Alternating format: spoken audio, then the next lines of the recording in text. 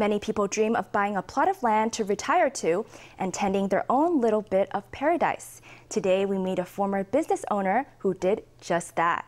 After retiring, Chiang Ching-chung bought some land in rural Hsinchu to begin a tea plantation. His Oriental beauty has won many awards. He also grows organic veggies that can be eaten straight from the field.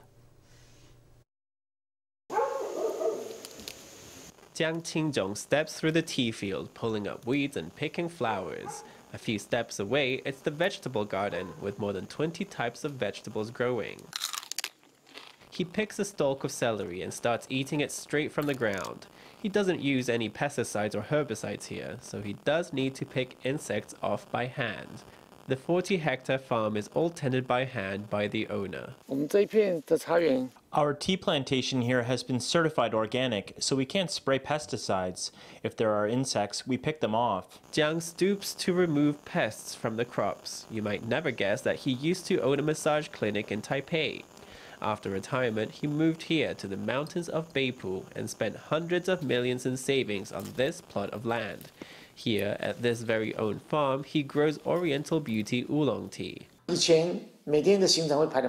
My days used to be so jam-packed with things to do. After we got our plot in Beipu, the pace of life slowed down and we've gotten healthier in terms of mind, body, and spirit. Over the last few years, friends have often seen me and said, Wow, Chiang, how come you never age? Chiang has learned a lot from growing tea. His Oriental Beauty won the top prize in the Hsinchu County Tea Contest, as well as a three-star award at a competition in Belgium.